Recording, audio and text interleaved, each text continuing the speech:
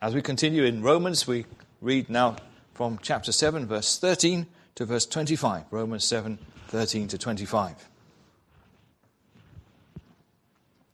Did that which is good then bring death to me? Paul is talking about the law of God. Did that which is good then bring death to me? By no means. It was sin producing death in me through what is good, in order that sin might be shown to be sin, and through the commandment might become sinful beyond measure. For we know that the law is spiritual, but I am of the flesh, sold under sin. For I do not understand my own actions. What I do not do, for I do not do what I want, but I do the very thing I hate. Now, if I do what I do not want, I agree with the law that it is good. So it's now no longer I who do it, but sin that dwells within me. For I know that nothing good dwells in me, that is in my flesh, for I have the desire to do what is right, but not the ability to carry it out. For I do not do the good that I want. But the evil I do not want is what I keep on doing. Now, if I do what I do not want, it's no longer I who do it, but sin that dwells within me. So I find it to be a law that when I want to do right, evil lies close at hand. For I delight in the law of God in my inner being, but I see in my members another law waging war against the law of my mind, making me captive to the law of sin that dwells in my members. Wretched man that I am, who will deliver me from this body of death? Thanks be to God through Jesus Christ our Lord.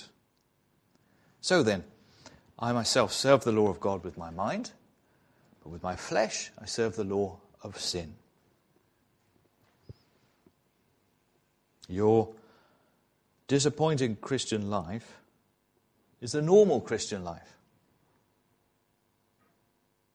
If you seem to be frustrated with yourself and unable to go right, you're in good company. Even if you reflect on your own performance in Christian living, you might ask yourself from time to time, Am I a Christian at all?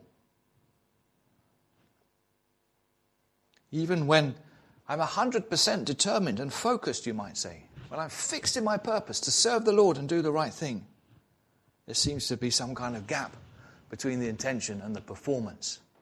It never quite comes up to scratch, even as I see it, never mind how God sees it. This is why I think Robert Murray M'Cheyne famously said, For every one look at yourself, take 10 looks at Christ. And that's biblical. The Bible encourages that. Consider him, the Bible says, who endured such hostility from sinners. Consider Christ. Set your mind on things above, where Christ is seated at the right hand of God. Remember Jesus Christ, raised from the dead. And many, many other similar verses. Another one here, for example.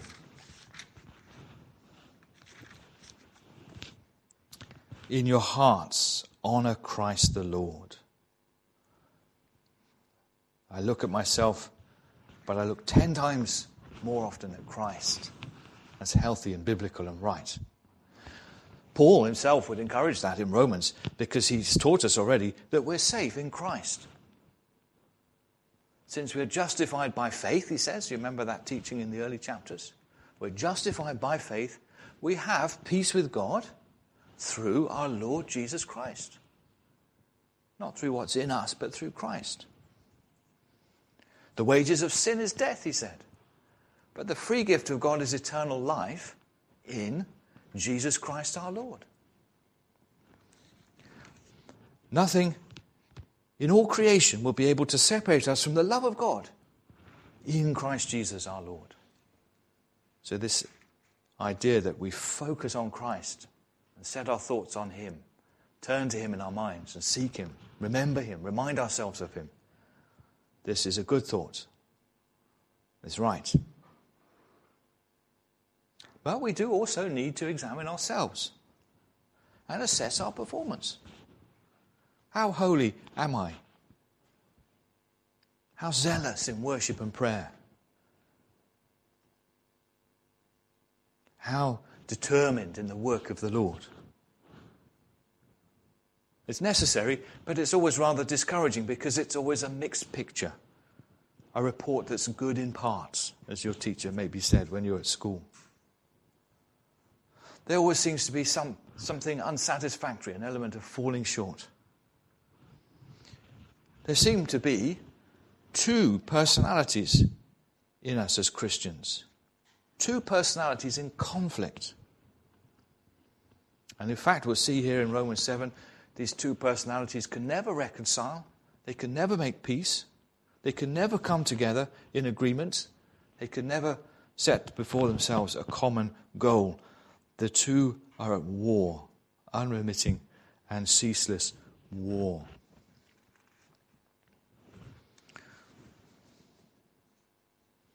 But is this, Romans 7:14 to 25, actually Paul's Christian life. Not everybody thought that.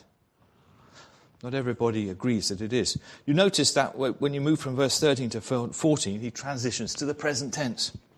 I am, he says. Verse 13, I was, was, was, was. Now I am. I do. I do not. I do. I do. I agree. Now. I who do it. I know. I am. I have. I, I, I. Present tense People who still do grammar at school would tell you present tense, first person singular. I am. It seems to be about his present life, his life as a Christian, his life as a mature Christian and an apostle who's writing this letter for us to learn from. Seems to be setting out his experience as a Christian so that we can learn from it. But there have been those who have said that this is not right. Martyn Lloyd-Jones, for example, the famous preacher, rightly celebrated and admired, his teaching at this point was that the, the, the, the, the person mentioned here is not a Christian at all. Not at all. He said, we've already seen, for example, in chapter 6, that as a Christian, you're no longer enslaved to sin. But this person, verse 14, is sold under sin. Metaphor from the slave market. We saw in chapter 6, sin no longer rules. But here in verse 18, this particular person has no ability to do what's right. So are they a Christian? Is Paul talking about a Christian here? We're set free from sin, we're told in chapter 6. But here we're told that this particular person is captive to the law of sin, verse 23. We'll see in chapter 8, verse 9, for example, that the Spirit of God lives in us. Chapter 7, verse 18, our chapter this evening, nothing good lives in us. Is this a Christian person at all? Is it Paul the Apostle writing? Seems to be someone, as Martyn Lloyd-Jones said, unregenerate, no spiritual life in them. But someone who's not a Christian, could they ever say, verse 15, I hate sin? Or verse 16, I agree with the law of God. Or verse 18 I have the desire to do what's right from the heart. Or verse 22 I take pleasure in God's law. Would a non Christian ever say or think or feel that way? Remember, God's law, before Paul was a Christian, first of all, he was ignorant of the law. He lived in a state of blissful ignorance. He didn't realize what the law actually said. He was alive to God in his own mind, in his own imagination, in his own delusion. But then the law came and he heard what the law actually said You shall not covet. And he died under conviction of sin. So he didn't delight in the law of God at that point. No non Christian delights in the law of God. How can they? They fear it, they hate it, they argue against it, they reject it, they mock at it. But this writer here takes pleasure in God's law. And he also says, I serve the law of God with my mind, in verse 25. But the mind of the non Christian, glancing ahead to chapter 8, verse 7, the mind of the non Christian, the mind that is set on the flesh, is hostile to God, does not submit to God's law. It cannot. So if the statements here seem rather extreme for a Christian, they also seem rather extreme for a non Christian. They almost seem to contradict each other. What kind of person is this? Well, other people have said, look, Paul's talking about a Christian, but this is what you might think of as a, a carnal Christian, a fleshly Christian, a Christian who's living a substandard Christian life. They haven't yet reached the higher life of victory and success and triumph over sin. There's a higher life waiting for them, but they haven't yet laid hold of it. They're bumping along in second gear when they ought to release that spiritual energy that's in them as a Christian and rise above all sin, leave it behind. Now, I don't know whether, this, I mean, this kind of teaching is still prevalent, and that there are many, many preachers and teachers who will speak with great confidence about the victories and successes of the Christian life and make you feel that uh, they've left sin behind. And why haven't you left sin behind? And sin's not a problem for them at all, and it shouldn't be for you. Um, and but it, it, used to be taught, I don't know if it still is, it used to be taught in terms of getting out of Romans 7 into Romans 8. Romans 7, they used to say, is the carnal Christian, the lower grade Christian. Romans 8 is the victorious and triumphing Christian. Well, we'll see in Romans 8 that, of course, this isn't quite the case. And in any case, many, many good people have tried to make this switch into a higher Christian life, and they have to admit, in all honesty, it has not worked. How do you jump from the one to the other? How do you upgrade? How do you tune up spiritually in this way? Well, many things were, were recommended over the years. Entire consecration to Christ, for example. Lay it all on the altar. Make that entire commitment without reserve. People have done this over and over again. And they're still the same afterwards. One teacher was holding forth at a youth weekend on this many years ago. My friend, who was a young man at the time, said to him, Is that how you live? And the speaker said to him, To be perfectly honest, I sin every day. Of course you do. Of course you do. Why are you telling the young people it can be different then? Others have held out this idea of a, a higher life, but all that that's shown is that they're just complacent. Again, a friend of mine went to see a Pentecostal pastor to discuss this very issue. Now, a lot of us struggle with eating too much, as you can see by looking at us.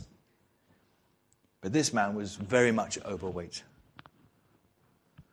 And he welcomed my friend to sit opposite him at a coffee table on which was a plate of cakes, which he ate from during their time together, without offering any to my friend. And as he was doing this, he said to my friend, It's easy to be a Christian. It's easy to be a Christian. Well, it is easy if you ignore all the difficult bits, if you ignore all the challenging stuff, like uh, stuff, I guess in his case, I suppose you'd have to say to do with greed and idolatry, you know, verses along those lines. Yes, it would be easy then to be a Christian, wouldn't it? That line of teaching has to airbrush out the fact the awkward fact that here Paul is talking about himself in the present tense. I am, I am, I am. This is what I do. This is my life now as an apostle, as a mature Christian. But of course, once you brush that out, all kinds of weird interpretations can come in. It's really an open season for academics and people wanting a PhD in New Testament theology. And in the last century or so, there have been many, many, many different explanations of this. Here's one from John Stott in The Bible Speaks Today. He says, The person in Romans 7, verse 14 to the end, is a half saved person. Well, you don't need a PhD in theology to find that a bit fishy. That's a bit of an emperor's no clothes moment, I would have thought. A half saved person. Well, he puts it this way the Old Testament believers, he said, were halfway Christians. They weren't quite like us. They were born again from the Spirit, but the Spirit never lived in them. They loved God's law, but they couldn't live up to God's law. And that's who Paul's writing about here. But this can't be right. Those Old Testament believers were the same as us. They're the same, they're made of the same stuff as us. When you read about Abraham or David or those heroes of the faith, you're reading about believers in the full sense of the word. The only difference is they believed in the promise of Christ to come, and we believe in the finished work of Christ in the past. Their faith looked future, our, past, our faith looks backwards to what God has already done. That's the only difference. How could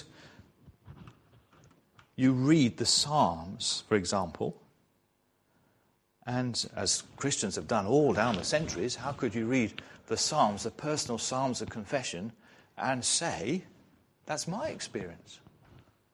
If they weren't the same as us, made of the same stuff as us, the same kind of believers as us. When David fell into sin with Bathsheba, he didn't say, Well, I love God's law, but the Spirit doesn't live in me. There's nothing I can do. He said, Take not your Holy Spirit from me.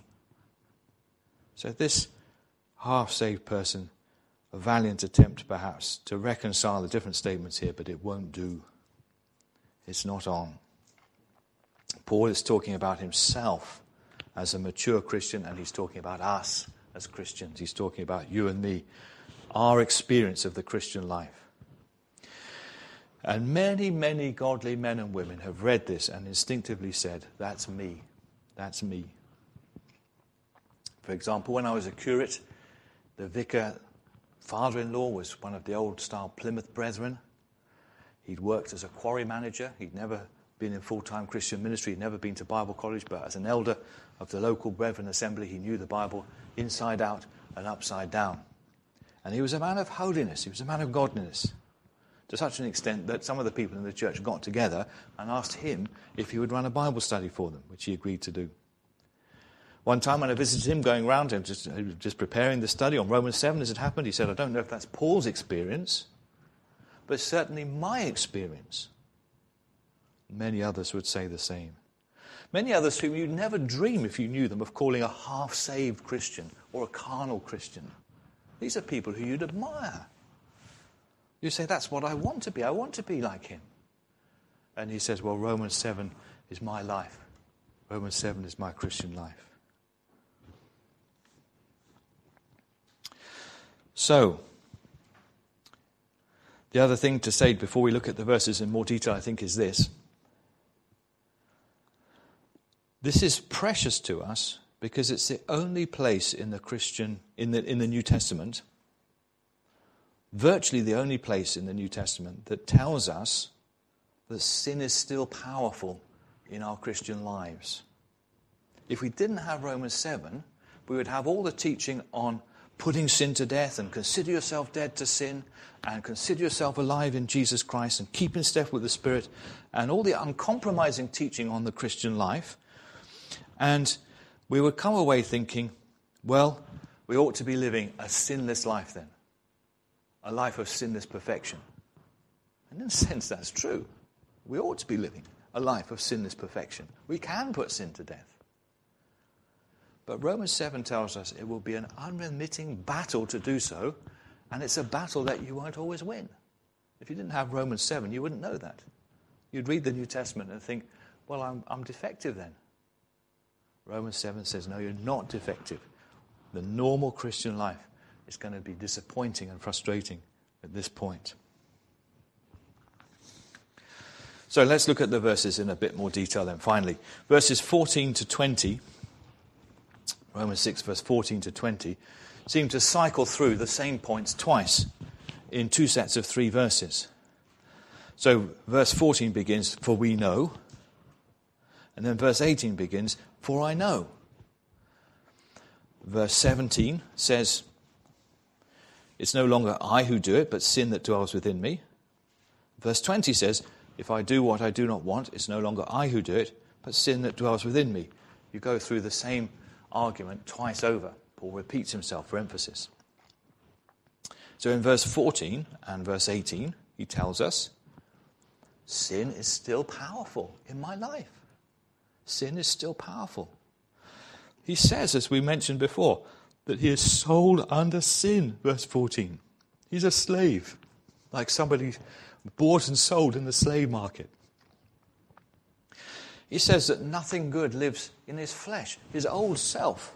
His pre Christian self is still part of his personality, and he says nothing good is in that old Christian, pre Christian self. Nothing good is in my flesh. Nothing good is in anybody's flesh. That's looking down at verse 18.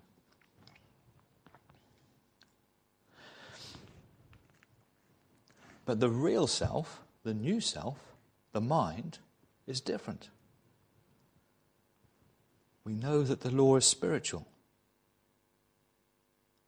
I have the desire to do what's right. Sin is still powerful, but it's not the whole story. In verse 15 and 16, in verse 18 and 19, Paul says, I want to do what's good, but I end up doing the opposite.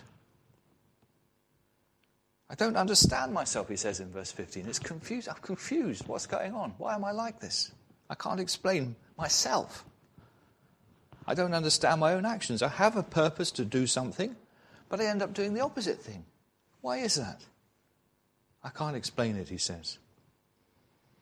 And again, he says, in verse 18, at the second half of the verse, I want to do what's right, but I can't. I can't carry it out. I don't seem to do the good things that I want to do. I keep doing the evil things that I don't want to do. There's this gap between intentions and plans and performance. How do you explain it? Paul sets himself out to fulfill a good purpose, and he ends up not fulfilling it. Well, if that sounds like your life, it's Paul's life, it's the Christian life. Later on, in one of his letters, Paul has a good prayer which I've often thought about. Maybe you'd like to look at it with me. 2 Thessalonians chapter 1, verse 11. Maybe you could take this, this prayer away from this sermon and make it your own prayer. 2 Thessalonians chapter 1, verse 11. He says to them, We always pray for you that our God may make you worthy of his calling and may fulfill every resolve for good and every work of faith. All your good plans, all the things you aim to do, all the things you're thinking of doing as a Christian, all the things you set out to do, may God help you to do them all. Because Paul says, My experience too often is I set out to do good things and end up doing bad things. Romans 14 to 20, Romans 7, 14 to 20. Sin is powerful in my life.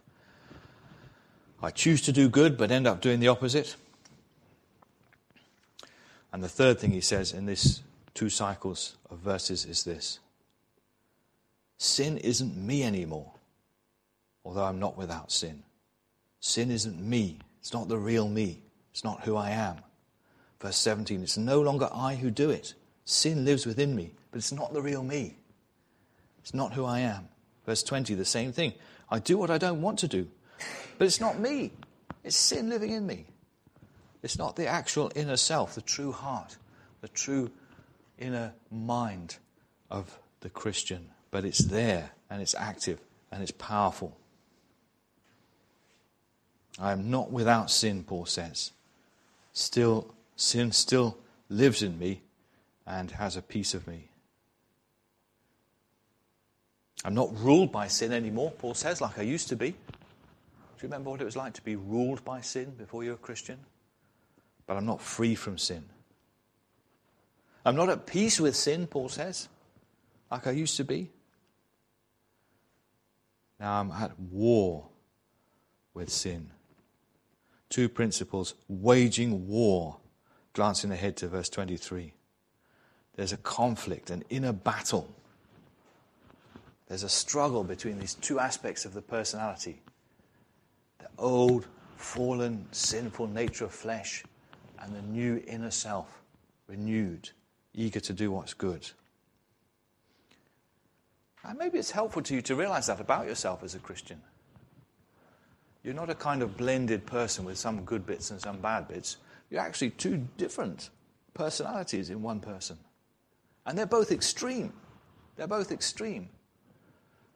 One is the old flesh, nothing good, nothing good in the flesh, nothing pleasing to God, nothing right, nothing appropriate. The other is the new self, the new mind, the new man, the new woman, set on pleasing good, on pleasing God, set on doing good. And Jesus himself spoke about this conflict. Do you remember when he was about to be betrayed?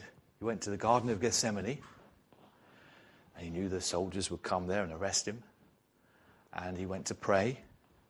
He came back and found the disciples asleep. And he said, Can't you watch and pray even for one hour? But he didn't so much want them to pray for him. It would have been nice, I guess. He wanted them to pray for themselves. Watch and pray, he said to them, you don't fall into temptation. The spirit is willing, but the flesh is weak. The spirit is willing, but the flesh is weak. Your intentions are good, your thoughts are good, your inner self is good, but there's something else in you that's going to make you fall unless you pray. So, there, just in that sentence of the Lord Jesus Christ, you could say is all the teaching here that Paul elaborates and explains in more detail in Romans 7. The spirit is willing, but the flesh is weak. Do you know something about this experience then? Are you aware of this, this, this conflict, this fighting within you? It's the normal Christian life.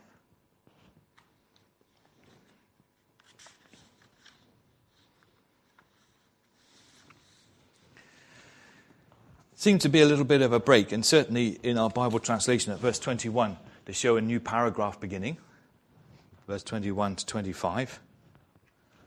And there are four pairs in these verses two personalities, as I've already mentioned, two principles or laws, two heart cries, and at the end, two masters. Two personalities, two principles, two heart cries, two masters. The two personalities come again in verse 21. When I want to do right, evil lies close at hand. That's the two personalities. Me, in my inner self, in my true self, I want to do the right thing. But it seems so easy to do the wrong thing. And that evil is not outside me, it's close at hand within me. And it is hard to get it right. That reminds me of the words that God said to Cain do you remember this in Genesis? Cain was jealous of his brother Abel, the first brothers in the human race.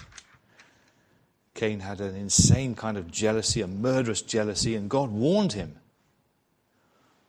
if you do not do well, sin is crouching at the door. Its desire is for you, but you must rule over it. That's true of all of us in our Christian lives. Sin is there waiting, lurking. And it wants to rule over us and take us over. We've got to overcome it. Two personalities. Paul says, I find this. I find it. He's talking about his own experience at this point, again, isn't he? He's reflecting on his life and what it feels like to be Paul, what it feels like to be a Christian. And he says, I find this in my own experience. There are two personalities within me.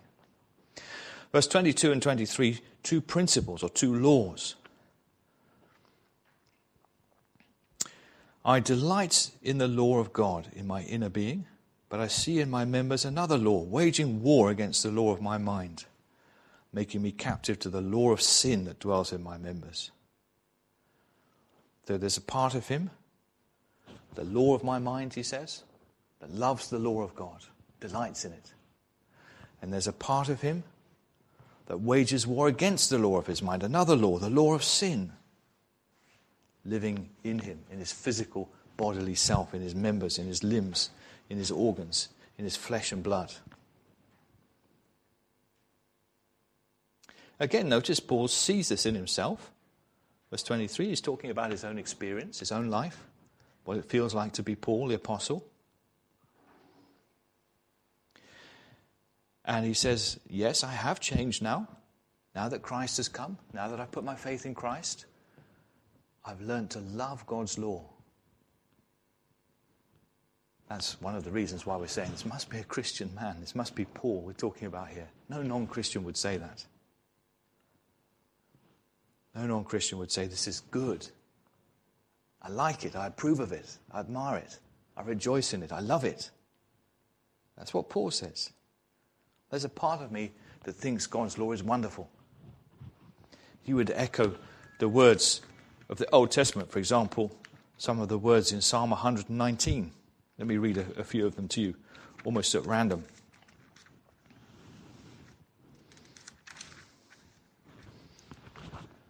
Oh, how I love your law. It's my meditation all the day. Or again, the law of your mouth is better to me than thousands of gold and silver pieces. Or again, I find my delight in your commandments, which I love. Paul says, Yes, I can identify with that. I know what he's talking about. I relate to it, but it's not the only thing I think and feel.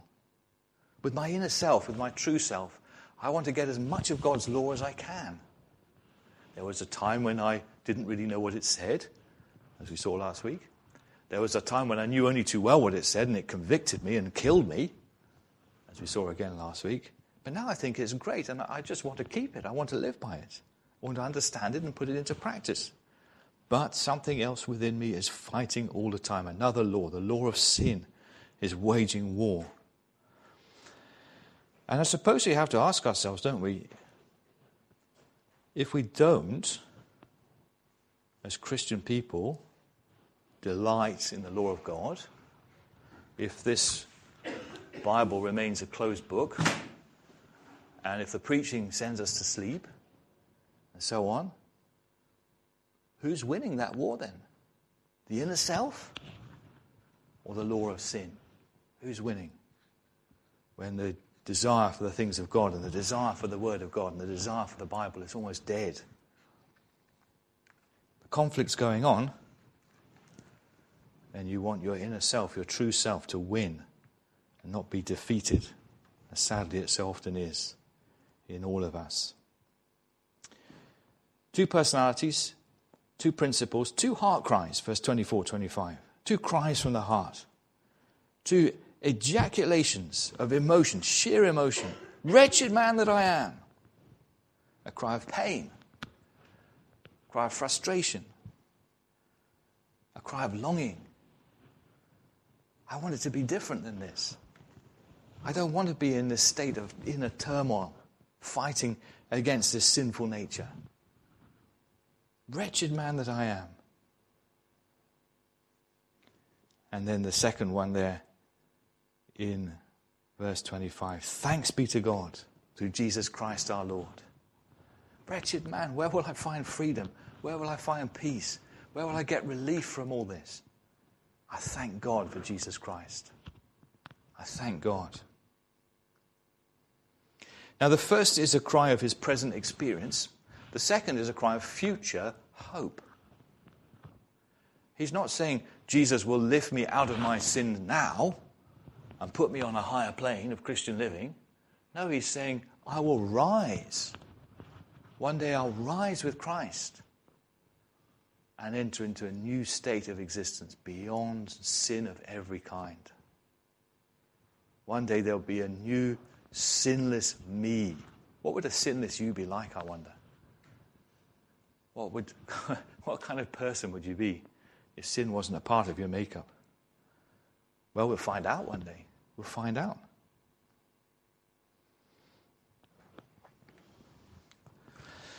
Present experience and future hope. Sin is present while Paul lives in this body of death.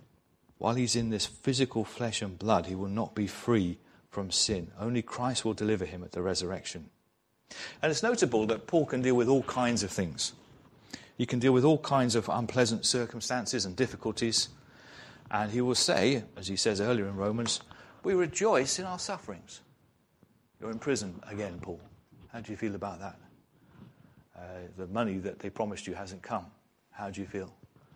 The people in the churches are criticizing you uh, and taking you down and talking about you behind your back and slandering you. How do you feel about that, Paul? Uh, you just been beaten up again. Uh, we rejoice, he says, in our sufferings. But when you talk to him about his inner self and this battle with sin, he says, Wretched man that I am. I can't believe it. Just want it over. Can't wait till it's finished. He expects to rise with Christ and leave all sin behind for good. Here's a hymn that we sometimes sing. If I read to you a verse from it, see if you can recognize it. When I stand before the throne, dressed in beauty not my own, when your fullness, Lord, I see, when my heart from sin is free, then, Lord, shall I fully know, not till then, how much I owe. That's Robert Murray McCheyne again, sharing that same longing that Paul expressed here. Get me out of this body of death. Get me out of this life of sin, dwelling in the flesh, fighting against my inner self, my inner being. But he's not out of it while he writes this letter, and he wasn't out of it until he died and went to be with the Lord. And neither will we be, because he says, as he sums up, and this statement really sums up this whole section of his letter I myself serve the law of God with my mind, but with my flesh I serve the law of sin. Two masters, two personalities, two principles, two heart cries, and now two masters. He serves them both.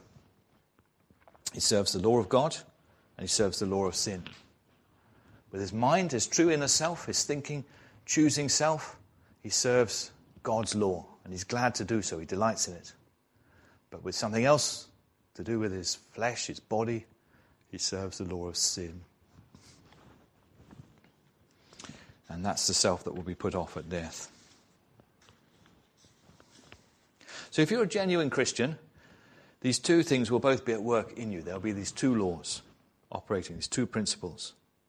You will side with one, God willing, you will side with the law of God, but you'll feel them both. You'll feel the law of sin at work in you as well.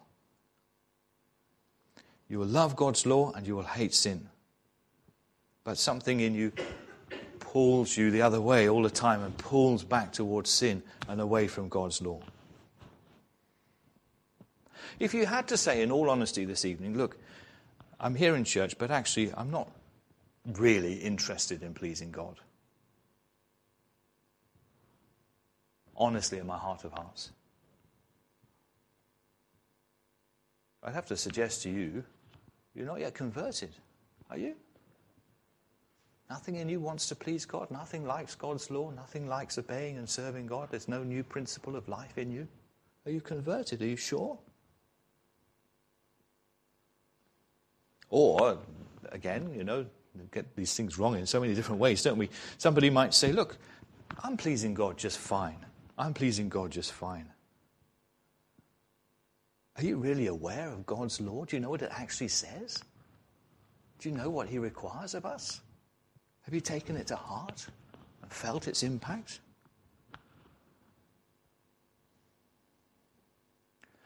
Or some of you will say, I expect, look, I am fed up with my failures. I am fed up with all this. I like to think of myself as a success in various areas of life. I like to think that I do the right thing. And I just keep failing with this business of living for God, and I'm fed up with it. Take heart. Take heart. You're not the only one. It's the normal Christian life, it's Paul's Christian life, it's the mature Christian life. Take heart and remember to fight. Remember to pray. Jesus said, as I said before, watch and pray that you don't enter into temptation. Remember to fill your mind with the law of God. Remember the good news of Jesus Christ. Right at the beginning of this letter, Paul said, It's the power of God for salvation, didn't he? And it'll be powerful in your life as a Christian. The good news. Apply that good news to yourself. Apply it again as you've done before. Say to yourself, Am I a sinner? Did Christ die for sinners? What sort of sinners? Nice ones? No, every sort. Do I qualify? Will I bring my sins? Ask yourself these kind of questions. Will I bring my sins to Him and rest them on Him and trust Him? Keep preaching the good news to yourself in this way. Does He promise everyone who trusts Him that they are righteous in His sight? Righteous in the sight of God, completely righteous. a perfect righteousness, an unspoiled righteousness, a righteousness that you can't mess up, a righteousness that does not accurately reflect your low grade and unsatisfactory Christian living because it's based entirely on the death of Christ, which is perfect and complete. Preach that gospel to yourself again. And then say, if I have Christ, what can I possibly lack? What can I possibly lack for life and godliness? What can I possibly lack in terms of help from above? What can I possibly lack in terms of a father's favor? The presence of the Spirit within me. That comes next week. What can I possibly lack in terms of the finished work, the sacrifice of Christ on my behalf? In terms of a Savior who's raised, who appears in God's presence for me? What can I lack if I have Christ? So take heart. Yes, in your mind, you serve the law of God. With your flesh, you serve the law of sin. There's only going to be one winner in that battle. It's not going to be the flesh.